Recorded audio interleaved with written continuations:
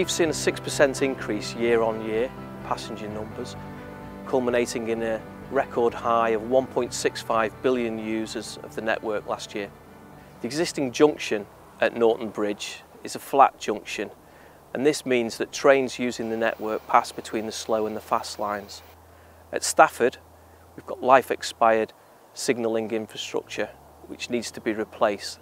Network Rail are investing £250 million in the construction of a new flyover junction at Norton Bridge, including 11 new bridges and six miles of new railway.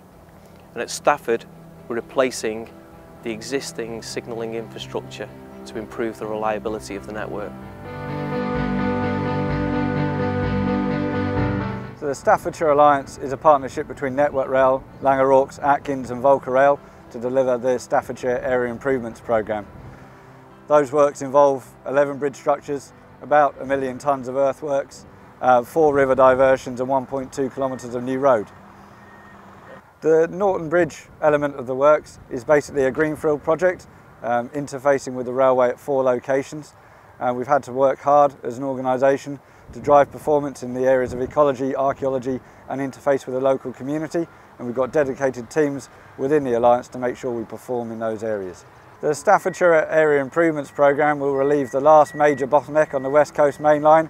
It will mean more freight and passenger services, which is great news for rail users.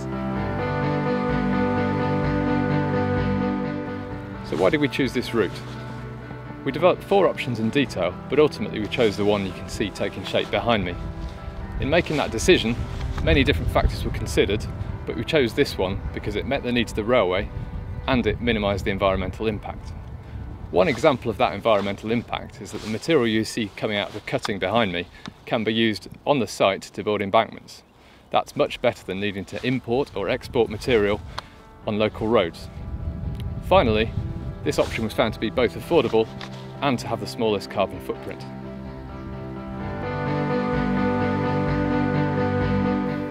We've had significant challenges to overcome on the site. Uh, we have a huge amount of earthworks to achieve. Um, we've got 12 structures to construct within a very short period of time, all within proximity of the West Coast Main Line and within proximity of a number of local neighbours.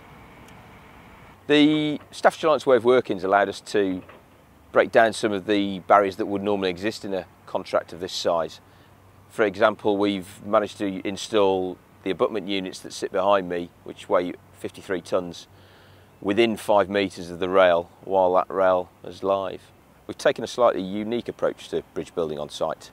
Um, we've formed uh, abutment shells, so we've formed shells away from site with the reinforcement contained within them. We've transported them to site and lifted them in in one unit, um, all with the West Coast Main Line still live. So we've done it under ALO working conditions, um, which has increased the speed at which we've built the abutments and has reduced the amount of possession working to construct those abutments.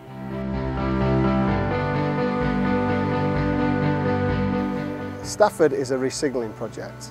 Uh, we are recontrolling Stafford number 4 and number 5 signal boxes down to the new control centre at Rugby ROC. Uh, we're renewing 91 new signals, all the cabling, the power, uh, we've got some P-way works with the sidings, there's major alterations to, uh, to the station in terms of new signalling at either end uh, and we've got, that goes between Colwich and Doxey and Penkridge.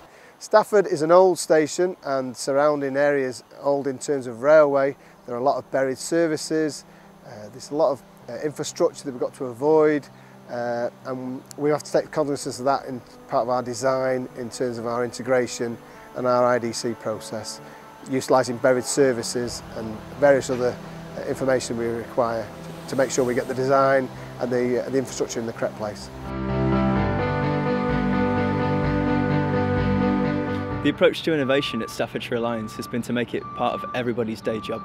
And the way that's done is to engage with local and national companies to bring their technology to bear on the project. They have the technology and we have the opportunity to apply it. So this is one example of innovation on the Stafford Area Improvement Programme. This is a signal post and the thing it's standing on is called a ram pad. The signal would traditionally be supported on a 610 diameter steel pile. Um, and we've managed to remove the pile and instead replace it with a shallow foundation solution, which means that we've taken out the cost, the noise and the man-machine interface associated with the piling rig. So we think we can install these now for around one third the cost of the steel pile.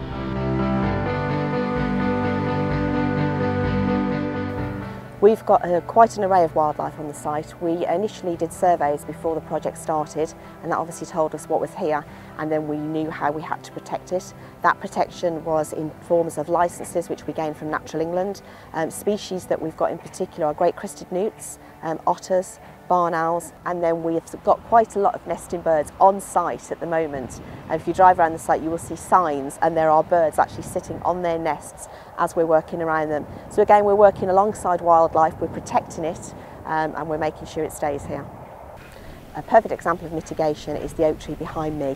We've been able to place some limbs from another tree um, onto this, which has got a fantastic bat potential, and we've actually created features in these blocks that we've put onto the tree so that bats will utilise their natural habitat. We've also built numerous ponds at Shaliford House um, and that's the mitigation for our great crested newts and we've got otter netting throughout the site uh, where we're working alongside otters and otters, otter prints are still being found so we know that we're not disturbing them during our works which is really good.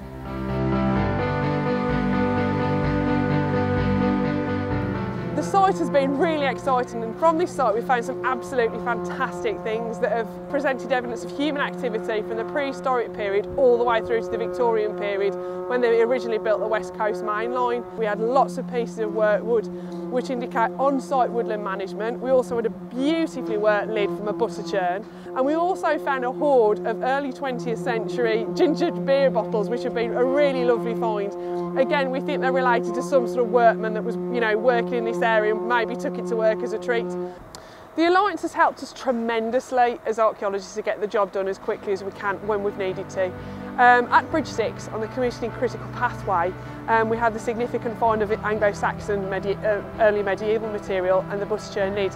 Had we delayed that area of the site, we would have, it would have had substantial ramifications for the rest of the project. The Alliance gave us the manpower and the equipment we provided the archaeological team, we got the job done as a team as quickly as we could. There have been significant benefits to the project of delivery under the uh, Alliance model. It allows us to generate a collaborative and no-blame culture and that in turn allows the team to focus on project delivery.